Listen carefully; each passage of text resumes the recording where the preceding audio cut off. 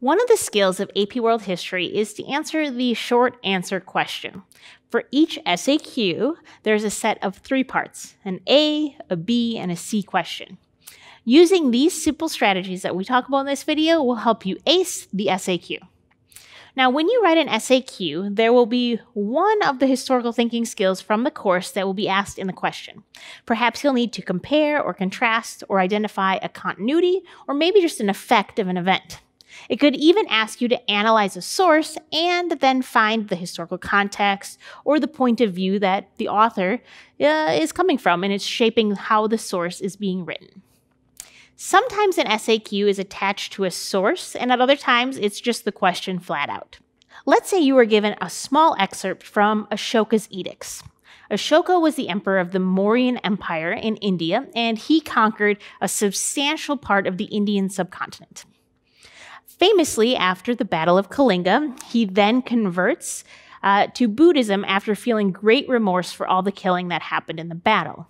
He then put up across the entire newly unified empire these rock edicts to declare certain things about his rule and reign in bringing peace to the land.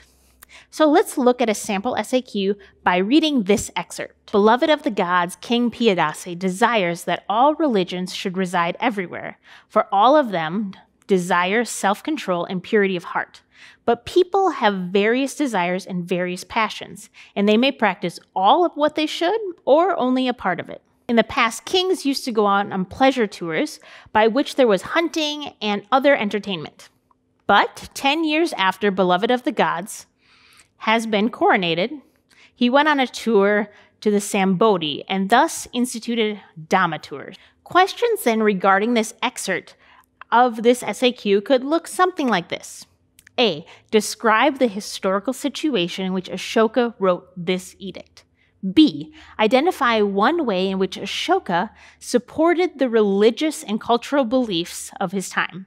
And C. Identify one way in which Ashoka challenged the religious and cultural beliefs of this time.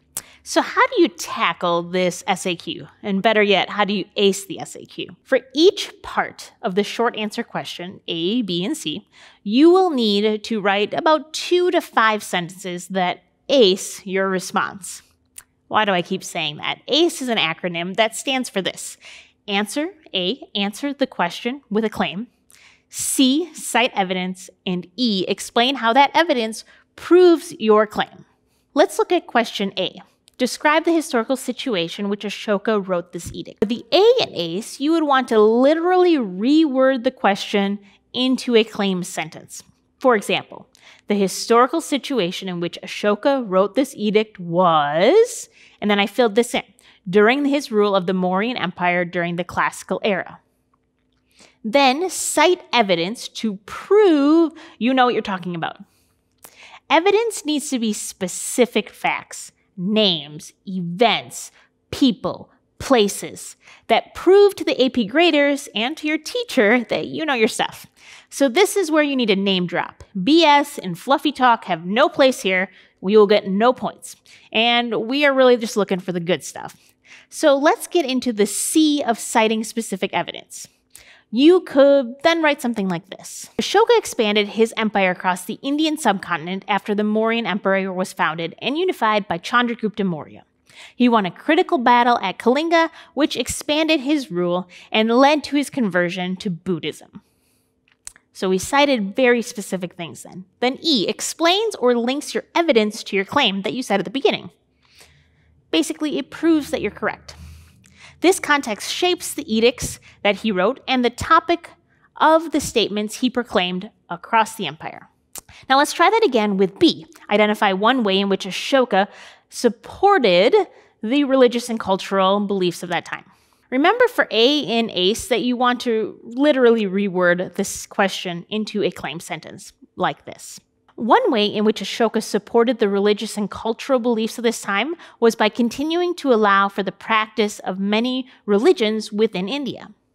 Okay, so we, we've noted that many religions can be practiced. Now we need to cite evidence. What specific religions were allowed to be practiced in India? Hinduism was the major religion within India, and unlike other religions, was really flexible to other belief systems. Even when Buddhism emerged, Hindus incorporated the Buddha into their beliefs as just another deity. E. Explain how this links and proves your claim sentence. This shows that Hinduism continued to be practiced in Ashoka's empire, as he even states, quote, all religions should reside everywhere.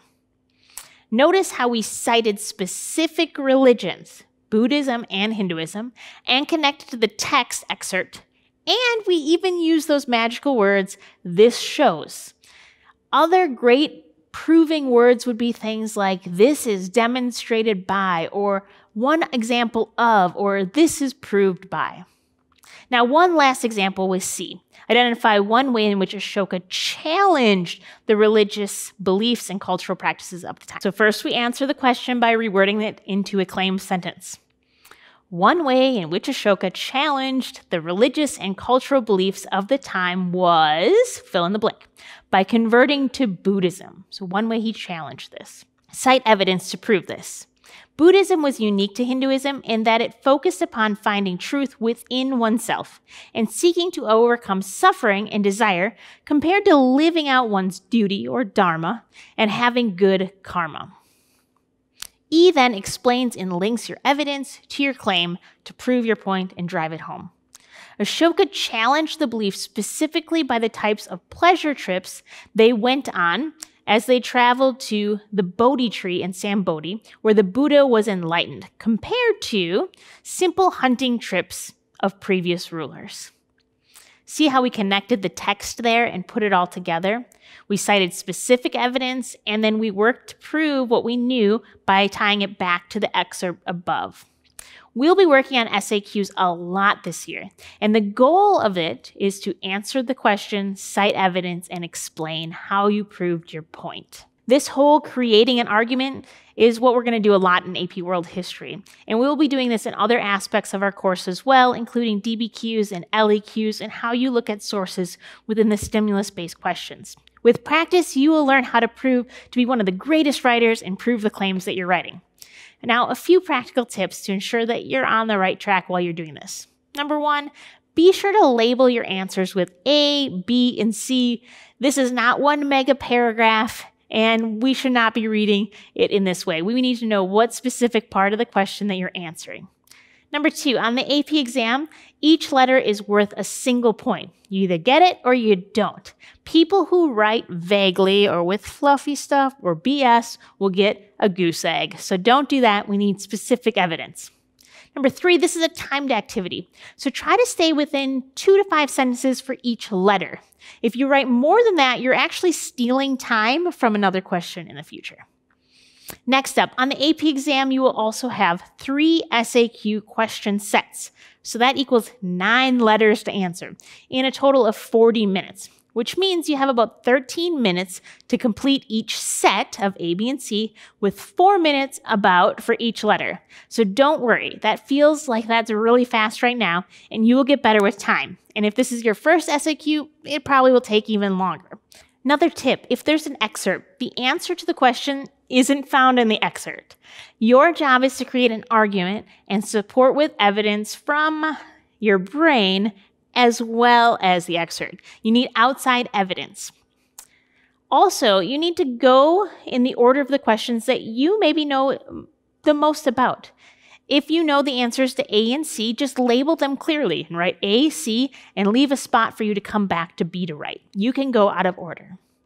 My final tip is this practice, practice, practice. You will learn this skill over the course of this class, and the other skills like DBQs and LEQs will mirror these foundational skills that you found in the SAQ. Well, I hope this information is helpful for you to ace the SAQ. Be sure to subscribe and hit the bell to stay tuned for all the future videos that we'll be doing this year to make sure that you're successful in your AP course. Thanks for watching, and we'll see you next time.